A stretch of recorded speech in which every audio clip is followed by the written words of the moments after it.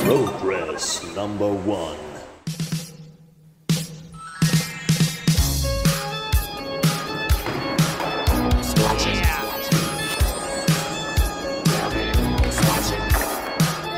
Watching me?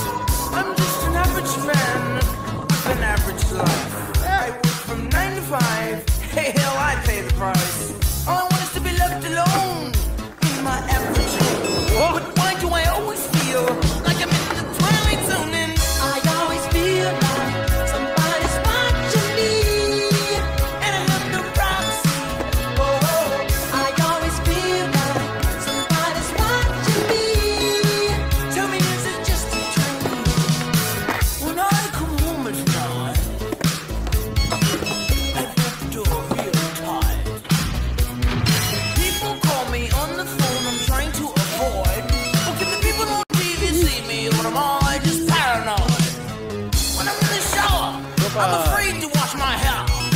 Cause I'm at a